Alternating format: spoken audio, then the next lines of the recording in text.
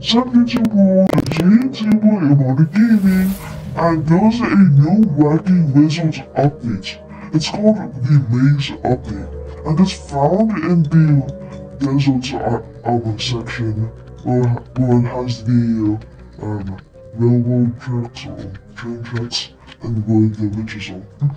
So, it's called Mystery Maze, and this is no potions allowed. So you can just cheat like, ha, I'm gonna cheat, ha.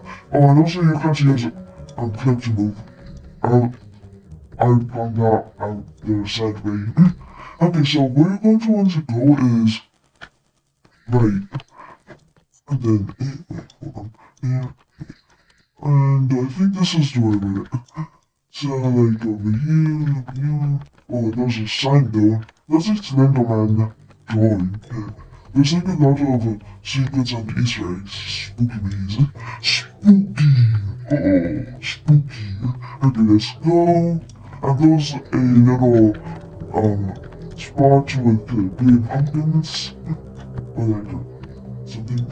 And let's go up here. Wee. Yay. Ah, we're doing it. So let's go here. Okay, I something. And in this way, there's just a dead spider thing and a dead noob. They're still gonna find a way out. Okay, now go over here. Go towards the spooky. I think. Now go towards the spooky. Spooky. That's what I heard something. Oh. Me. Okay, that you did that. So we go over here, like a. Mm, mm, and there we go. Yay, we already made it. That's nice.